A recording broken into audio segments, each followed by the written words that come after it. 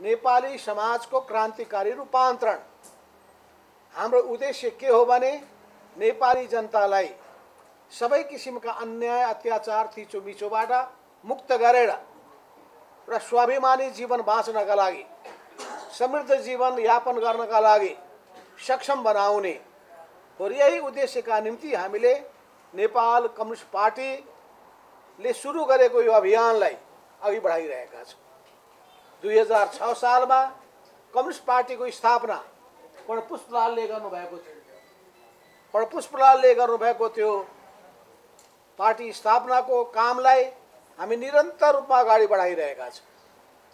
अनेकौँ बाधा व्यवधानहरू आएका छन्। कहिले एकीकरण भएको छ कहिले विभाजन भएको छ। तर एउटा कुरा राम्रो के छ भने नेपालमा कम्युनिस्ट पार्टी अत्यन्तै लोकप्रिय छ। एउटा नाममा होस् या अर्को नाममा होस् कम्युनिस्ट पार्टी नै मान्छेले मन पराउँछ। यो कम्युनिस्ट पार्टीको लोकप्रियताको एउटा सङ्केत अरू देशहरूमा बुर्जुवा पार्टीहरू अनेकौँ खुलिरहेका हुन्छ किनभने कम्युनिस्ट पार्टी लोकप्रिय नभएको कारणले जुन देशमा कम्युनिस्ट पार्टी लोकप्रिय छ मानिस कम्युनिस्ट पार्टीमै रहन चाहन्छ। तर अलग अलग पार्टी खोलेर आन्दोलन सशक्त हुन सक्दैन। आन्दोलन सशक्त बनाउनका लागि एउटा पार्टीलाई बलियो बनाउनु पर्छ। एउटा पार्टीलाई दह्रो बनाउन सकियो भने बलियो बनाउन सकियो भने लाखौँ लाख जनताको साथ र सहयोग प्राप्त गर्न सकियो भने त्यसले देशमा तरङ्ग पैदा गर्दछ। परिवर्तनको निम्ति आधार तयार गर्दछ। यस कारणले पनि हामीले यो कम्युनिस्ट पार्टीलाई जिउँदो बनाउन मात्र होइन जीवन्त बनाउन मात्र होइन सशक्त बनाउनका लागि प्रभावकारी बनाउनका लागि जनताको प्यारो पार्टीको रूपमा यसलाई स्थापित गर्नका लागि यो नयाँ चुनौती सम्हालेका छौँ। यो चुनौतीको सामना गर्ने आँट गरेका छौँ अहिले हामी नयाँ वर्षमा प्रवेश गरेका छौँ। दुई हजार उनासी सालमा यो नयाँ वर्ष सँगसँगै निर्वाचनको पनि हामी सामना गरिरहेका छौँ। यस सन्दर्भमा नयाँ सम्भावना हाम्रो सामु देखिएको छ। यी नयाँ सम्भावनाका साथसाथै नयाँ चुनौतीहरू पनि देखिएका छन्। एक नेपाल कम्युनिस्ट पार्टीसँग सम्बद्ध भएका कमरेडहरूले आन्दोलनको यो उतार चढावको बिचमा अनेकौँ अनुभवहरू हासिल गर्नुभएको छ। अनेकौँ खालका मानिसहरू अनेकौँ खालका विचार प्रवृत्तिहरूसँग जुझ्दै आउनु भएको छ। र यो अनुभवको क्रममा उहाँहरूले देख्नुभयो कि पार्टीको नाउँमा एउटा झन् एउटा बोर्ड झुन्ड्याएर मात्र हुँदैन। त्यसलाई सशक्त बनाउनु पर्दछ। त्यो सशक्त बनाउन सकियो भने जुन उद्देश्यका लागि हामी पार्टीमा लागेका छौँ आन्दोलनमा जुटेका छौँ हाम्रो लाग्ने कुराको सार्थकता हाम्रो समर्पणको सार्थकता हाम्रो मेहनतको सार्थकता बल्ल पुष्टि हुन्छ। कुनै काम गरिँदैछ भने त्यसमा सफल हुनु पर्दछ। पढ्न लागि छ भने सफल हुनु पर्दछ। अझ उत्कृष्ट हुन सक्नु पर्दछ। पढ्नका लागि पढ्ने मात्र होइन। हिँड्नका लागि हिँड्ने मात्र होइन। लक्ष्यमा गन्तव्यमा पुग्ने हो। त्यो लक्ष्य के हो? गन्तव्य के हो? उद्देश्य के हो? यसबारेमा प्रष्ट भएर हामीले अगाडि बढ्नु पर्दछ। त हाम्रो प्रष्ट गन्तव्य छ नेपाली भएको हुनाले स्वाभिमानी नागरिकको रूपमा हामीले आफ्नो भूमिका खेल्ने यो देशलाई स्वतन्त्र सार्वभौमसत्ता सम्पन्न र एउटा सबैले सम्मान गर्ने, मर्यादित देशको रूपमा स्थापित देशका नागरिकले नै देशलाई सुन्दर बनाउने हो, असल बनाउने हो, त्यसको अस्तित्व जोगाउने हो, त्यसको मर्यादाको रक्षा गर्ने हो, र असल नागरिक बनाउने काम कम्युनिस्ट पार्टीको त्यसो हुनाले कम्युनिस्ट पार्टीले असल नागरिक पनि बनाउँछ असल नागरिक बनाउनको लागि असल कार्यकर्ता पनि उत्पादन गर्छ। असल नागरिक बनाउन असल कार्यकर्ता निर्माण गर्नका लागि सबभन्दा ठि सही सिद्धान्त लिन्छ सही विचार विचार अङ्गीकार गर्छ। त्यो विचार र सिद्धान्तलाई जनताको माझमा प्रचार गर्दछ। आज अहिले भर्खरै अहिले हामीले घोषणा पत्र तपाईँहरूको बिचमा बाँडेका छौँ। यो स्थानीय निर्वाचन सम्बन्धी घोषणा पत्र हो। यसो सानो कहाँ छ त्यो त्यो पनि हेरौँ यही बेलामा त प्रचार यो अहिले तपाईँ देख्दै हुनुहुन्छ यो सानो यसको सा संक्षेपीकरण अब प्रकाशित हुँदैछ अब यो सबैतिर हामी प्रचार पनि गर्नेछ त्यो गर्दाखेरि ठुलो किताब गर्दाखेरि सबैले पुरै पढ्न त्यसरी संक्षेपीकृत भइसकेपछि मान्छे पन्ध्र मिनटमा आधी घन्टामा पढिसक्नेछ त्यसो हुनाले हामीले संक्षेपमा पनि यसलाई छापेका छौँ खर्च पनि कम लाग्छ प्रचार गर्न पनि सजिलो हुन्छ। अझ योभन्दा पनि संक्षेप निकाल्नु पर्ने हुन्छ। एक पानाको। ठ्याक्क दसवटा कुराहरू छन् भने। अनि त्यो दसवटा पाना लिकन घर घरमा हामी पुर्याउन सक्छौँ। र सबैको हातमा यो घोषणा पत्र पनि जानेछ सँगसँगै चुनाव चिन्ह पनि जानेछ। त्यसो हुनाले चुनाव चिन्ह सहितको एक पाने यो प्रत्येक ठाउँले पनि प्रकाशित गर्ने काम गर्नेछ गर्नुपर्दछ र हामी यसैमा हामीले हाम्रो विचार के हो हाम्रो उद्देश्य हो हामीले राखेका छौँ। हाम्रो पार्टीको स्थापनाको पृष्ठभूमि तपाईँहरूलाई थाहा छ कि कसरी हामीले यो कम्युनिस्ट पार्टी निर्माण गरेका छौँ विद्रोह गरेर निर्माण गरेका छौँ। पुरानो पार्टीमा भएका विकृतिका विरुद्धमा विद्रोह गर्ने आँट गरेका छौँ जसले पायो त्यसले आँट गर्दैन। हिम्मत हुनेले मात्रै गर्छ। सही र गलतलाई छुट्याउन सक्ने क्षमता भएकाले मात्रै गर्छ। हामीले सही र गलतलाई छुट्यायौँ। गलतको विरोध गऱ्यौँ। सहीको पक्षमा उभियौँ। सही र गलत भनेको के हो?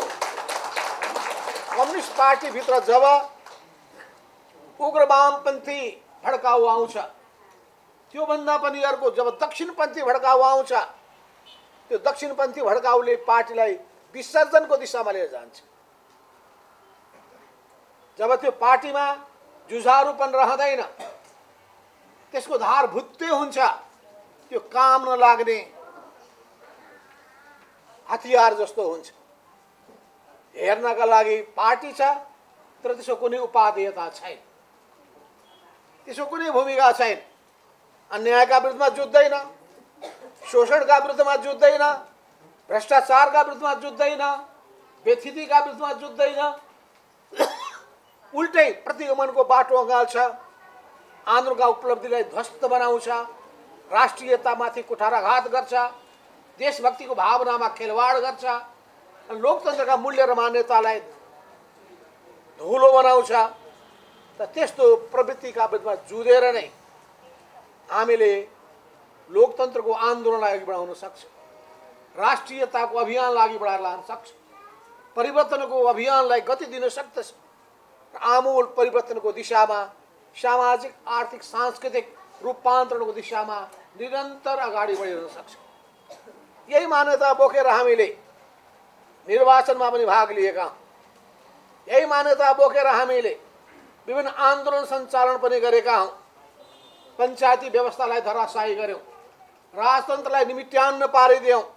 गणतन्त्रको स्थापना गऱ्यौँ र हामीले सङ्घीयता ल्यायौँ। जनतालाई अधिकार सम्पन्न बनायौँ। जनताको शिर ठाडो हुने स्थिति पैदा गर्यौँ। सबै जनतालाई समान अधिकारको आवाज बुलन्द गऱ्यौँ न्यायको पक्षमा समानताको पक्षमा विकासको पक्षमा र समृद्धिको पक्षमा मान्छेलाई एकताबद्ध बनाउनका लागि आह्वान गर्ने काम गर्छ आज देशव्यापी रूपमा हाम्रो पार्टी फैलिएको छ। सतहत्तरै जिल्लामा पार्टीका सङ्गठनहरू पनि छन्। र मलाई खुसी लागेको छ एकीकृत नेपाल कम्युनिस्ट पार्टीले पनि आफ्नो शाखाहरू सतहत्तरै जिल्लामा फैलाएको रहेछ।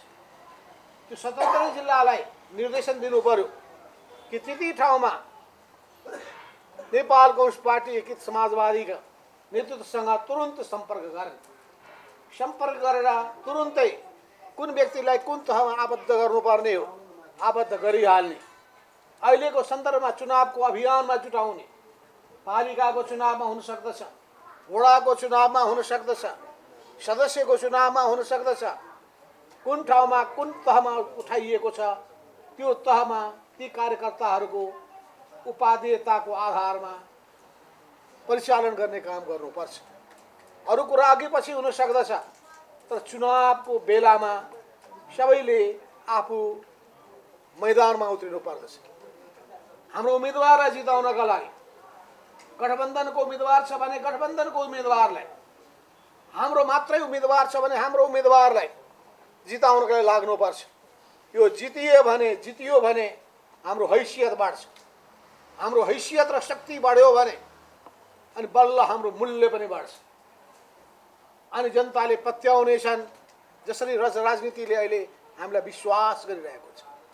देश दुनियाँले हामीबाट आशा र अपेक्षा गरिरहेका छ त्यो आशा र अपेक्षा हामीले आजसम्म खेलेको भूमिकाको आधारमा हाम्रो शक्तिको आधारमा पनि हो। हाम्रो शक्ति र हैसियतको आधारमा पनि हो।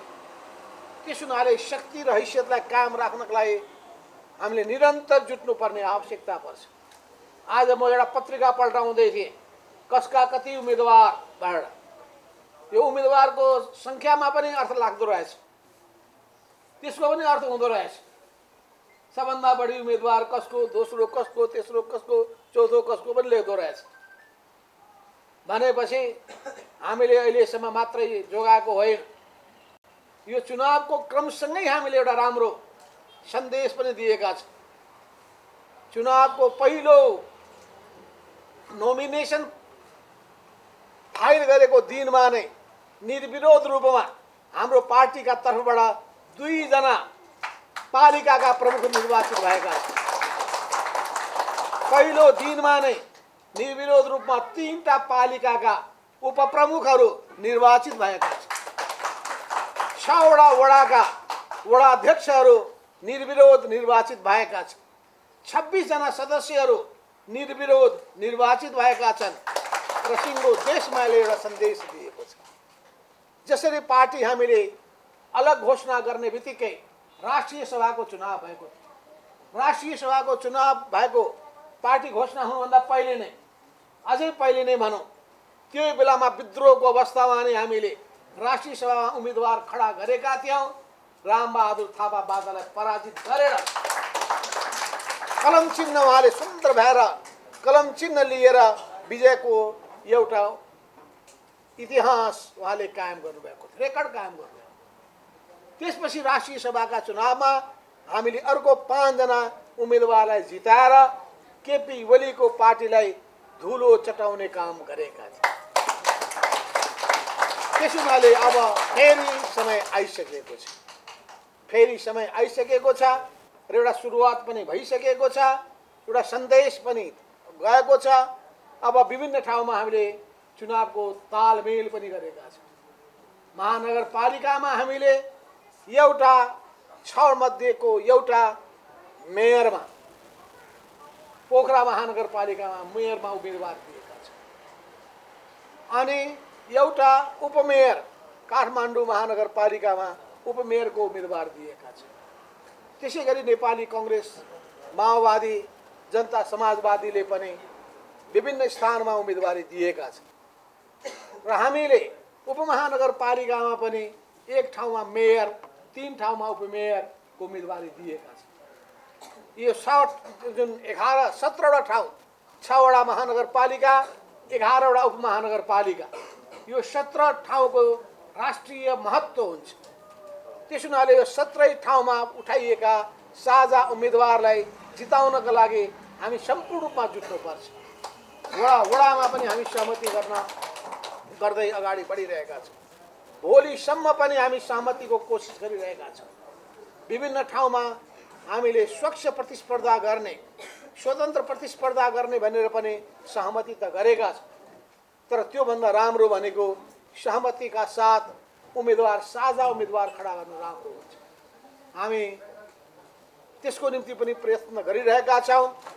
जे अन्तिममा परिणाम आउँछ उम्मेदवारको नाम तय हुन्छ त त्यो उम्मेदवारहरू जहाँ सहमति भएका छन् सहमति भएका सबै उम्मेदवारलाई जिताउन हामीले जुट्नुपर्छ।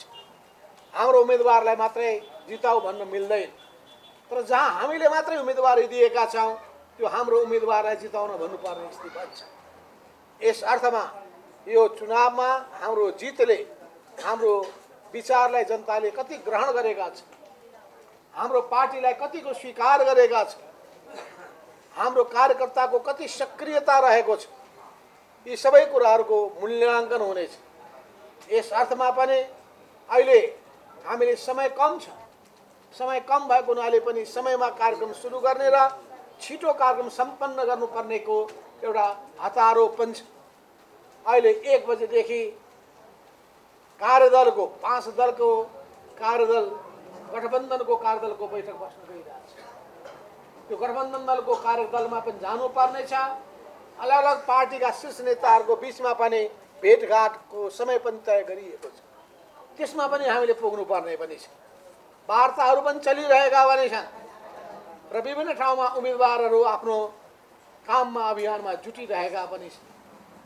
अघि मैले चर्चा गर्दै थिएँ कि हामी सतहत्तरै जिल्लामा पुगिसकेका छौँ र हामी सबै पालिकाहरूमा पुग्ने अवस्थामा रहेका छौँ।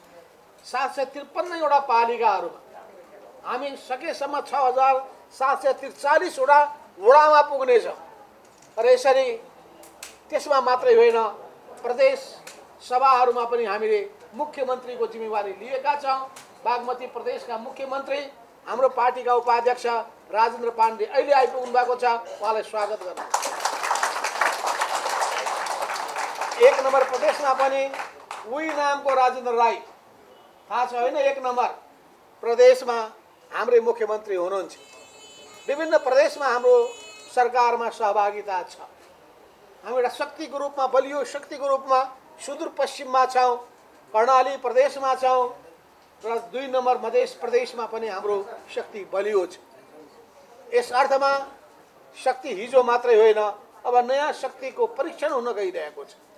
यो शक्ति परीक्षणको अभियानमा जुट्नका लागि हामीलाई मत किन दिने? हामीलाई किन रोज्ने? हामीलाई किन मत दिने?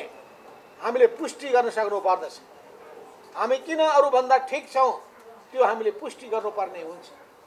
हाम्रो विचार हाम्रो धारणा हाम्रा नीतिहरू र हाम्रो आजसम्मको काम यी सबैको आधारमा जनताले हाम्रो मूल्याङ्कन गर्नेछ गर्नेछ। दुई हजार एकाउन्न सालमा बुढापाकालाई भत्ता दिनेको सुरुवात हामीले नै गरेका थियौँ। हामीले नै अपाङ्गता भएकाहरूलाई विशेष सहुलियत दिनुपर्ने एकल महिलाहरूलाई भत्ताको व्यवस्था गर्ने जग्गा नभएका सुकुम्बासीलाई जग्गा वितरण गर्ने। प्रत्येक गाउँमा आफ्नो गाउँ आफै बनाऊ अभियान सञ्चालन गर्ने। यी सबै कामहरू हामीले नै सुरु गऱ्यौँ नेपालको राजनीति। अरूले होइन। र यहाँ अहिले म सुन्दैछु कि एमालेको ओली गुटले त्यो त हामीले पो गऱ्यौँ भनिरहेका छन्। उनको त कुनै भूमिकै रहेको थिएन। त्यहाँ भूमिका थियो भने मनमोहन अधिकारीको थियो माधव नेपालको थियो भरत मोहन अधिकारीको थियो। त्यस हुनाले त्यसलाई दावाका साथ तपाईँहरूले भन्नुपर्दछ। प्रमाणका साथ भन्न सक्नु पर्दछ त्यति मात्रै होइन। हामीले नै घरबार नभएका मान्छेहरूलाई जनता आवास कार्यक्रमको कार्यक्रम ल्याएर घरबार विहीनको निम्ति घर बनाएर राज्यले नै दिने नीति हामीले नै अगाडि सारेका थियौँ। दुई हजार छ्यासठी सालमा म प्रधानमन्त्री भएको बेला। केपी ओली भएको बेलामा पनि उनले पनि केही काम चाहिँ गरे। के काम गरे भन्दाखेरि यति यति ग्रुपसँग भ्रष्टाचारमा मिलोमतो गरे। ओम्नी प्रकरणमा जनतालाई लुट्ने कामहरू गरे। लुट्ने चुस्ने काम केपी ओलीले गरे। देश र जनताको सेवा गर्ने काम हामीले गरे। दुःख दिने काम उनले गरे सुख दिने काम हामीले गऱ्यौँ यही फरक राज्यको सम्पत्तिको सही उपयोग हुनुपर्छ भने धारणा पनि हामीले सार्यौँ र त्यही हिसाबले काम पनि गऱ्यौँ राज्यको सम्पत्तिको लुट गर्नुपर्छ र दुरुपयोग गर्नुपर्छ भने यो विचार उनीले ल्याए उनीले त्यस्ता कामहरू पनि गरे त्यसो हुनाले गफमा उनी अगाडि काममा हामी अगाडि। कफाडी नम्बर एक उनी काममा अत्यन्तै फास्ट हामी। यही दुइटामा रहेको फरक। हामी इमान्दारिता र निष्ठाको राजनीति गर्ने मान्छे। उनी बेइमानी र जाल झेलको राजनीति गर्ने मान्छे। त्यसमा दुइटाको यदि चार्ट बनाउने हो भने ग्राफ हामीले निकाल्ने हो भने थाहा भइहाल्छ। हामी असल काम असल विचार असल भावना र जनताको सेवाको निम्ति समर्पित भएको त्यो मूल्य र मान्यताको पक्षपोषण गरेको शक्तिको रूपमा यसलाई अघि बढाएर लान चाहन्छ। त्यस हुनाले हाम्रो मन भावना पवित्र छ असल छ। जनताको पीडा र वेदनाले हामीलाई पोल्छ जनतालाई सुख कसरी उपलब्ध गराउने युवाहरूलाई रोजगारीको व्यवस्था कसरी गर्ने हाम्रा केटाकेटीको पढाइको व्यवस्था कसरी गर्ने सबै नागरिकको स्वास्थ्यको प्रबन्ध कसरी गर्ने? आज बिहान म रेडियो सुन्दै थिएँ कि म स्वास्थ्य मन्त्रालयको तर्फबाट कसरी भ्याक्सिनहरूको व्यवस्था गरियो पहिलो डोज दोस्रो डोज त्यसपछि अर्को डोज पनि अहिले उपलब्ध भएको कुराहरूको प्रचार गर्दै नागरिकहरूलाई सुरक्षित हुनका लागि कसरी स्वास्थ्य मन्त्रालय लागेको छ हामीले सम्हालेको मन्त्रालयले काम गरिरहेको छ। त्यस्तै हामीले सम्हालेका अरू मन्त्रालयहरूले पनि सक्दो राम्रो काम गर्न खोजिरहेका छन् राम्रो काम गर्नु पनि पर्छ। जति राम्रो काम गर्न सकियो हाम्रो सान बढ्छ हाम्रो मान बढ्छ हाम्रो शिर ठाडो हुन्छ हाम्रो मनोबल उच्च हुन्छ जति नराम्रो गरियो हाम्रो शिर निहुरिन्छ। त्यस हुनाले चाहे केन्द्र सरकार होस् चाहे प्रदेश सरकार होस् पालिकाका प्रमुख प्रमुख हुन् चाहे वडा अध्यक्ष सदस्यहरू हुन् जनप्रतिनिधिहरू हुन् या पार्टीका कार्यकर्ताहरू हुन् राम्रो काममा हामी सबैलाई प्रोत्साहित गर्छौँ। नराम्रो काममा हामी नियन्त्रण गर्छौँ। नराम्रो काम नगरून् भनेर हामी उनीहरूलाई सचेत बनाउने काम गर्छौँ। त्यस हुनाले हाम्रो यो पार्टी राम्रो विचार बोकेको र राम्रो काम गर्ने उद्देश्य राखेर निर्माण गरिएको यो पार्टी हो। यो पार्टीले जसरी राजनीतिक क्रान्तिको अगुवाई गरेको थियो अब आर्थिक क्रान्तिको पनि अगुवाई गर्नेछ सांस्कृतिक क्रान्तिको पनि अगुवाई गर्नेछ सामाजिक क्रान्तिको पनि अगुवाई गर्नेछ अनि त्यसपछि प्राविधिक क्रान्तिको पनि अगुवाई गर्नेछ अनि पर्यावरणीय क्रान्तिको पनि अगुवाई गर्नेछ। अब हामीले पर्यावरणमा पनि ध्यान दिनुपर्छ। हरियालीलाई हामीले प्रोत्साहन दिनुपर्दछ। सुन्दर नगर सुन्दर गाउँ बनाउनु पर्दछ त्यसै गरी हामीले विज्ञान र प्रविधिको पनि व्यापक रूपमा प्रयोग गर्नुपर्दछ यी सबै चिजहरू हामीले प्रयोग गर्न सक्ने हो भने बल्ल हाम्रो समाज समुन्नत हुन सक्दछ हाम्रो देश विकसित हुन सक्दछ हाम्रो नागरिकहरू अत्यन्तै प्रशिक्षित र दक्ष हुन सक्दछन्। दक्ष नागरिक भएको देशको प्रतिष्ठा माथि उठ्छ। दक्षता र सिप सिकाउने कुरालाई ध्यान दिने देशले नै देशका नागरिकले नै देशको इज्जत र प्रतिष्ठा माथि उठाउने गर्दछ। त्यस हुनाले यी सबै कुराको सन्दर्भमा हाम्रो पार्टीको नीति र विचारलाई आत्मसात गरेर तपाईँहरूलाई अगाडि बढ्नका लागि म आह्वान गर्न चाहन्छु। अहिले पार्टीमा प्रवेश गर्ने पार्टीमा समाहित हुने सबै कमरेडलाई म हार्दिक स्वागत गर्न चाहन्छु र तपाईँहरू दृढताका साथ अगाडि बढ्नुहोस्। तपाईँ हामी एकै अभियानका यात्रीहरू सँगसँगै अगाडि बढौँ। यसमा सफलता निश्चित छ भने घोषणा समेत गर्दै तपाईँलाई फेरि हार्दिक स्वागत स्वागत स्वागत चाहन्छु